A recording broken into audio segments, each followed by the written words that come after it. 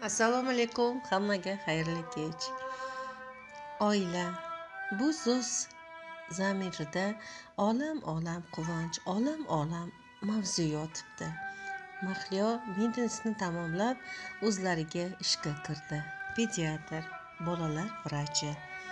Hammani orzusidagi qiz. Sevgani yo'q. Ana ko'ring sovchini. O'tkazib qo'ysangiz o'nta chiqadi. Bularni ichida homidjon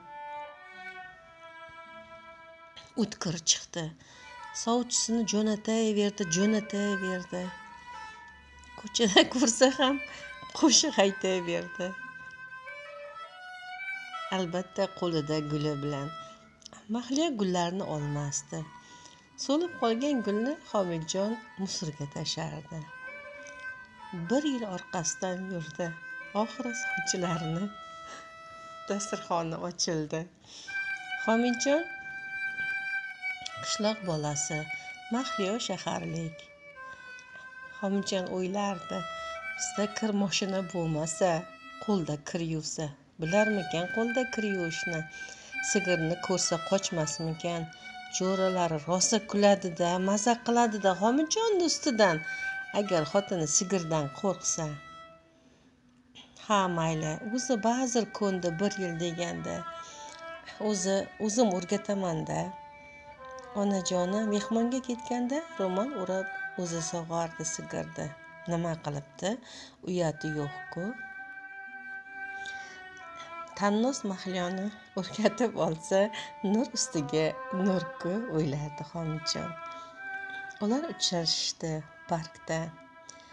Yana shu homidjon da katta buket bir dona olsa bo'lardi o'ylardi. Mahliyo. Yoki uch dona.